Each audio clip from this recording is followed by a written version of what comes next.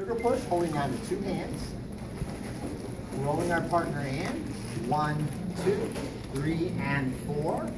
Out five, back six, seven, and eight.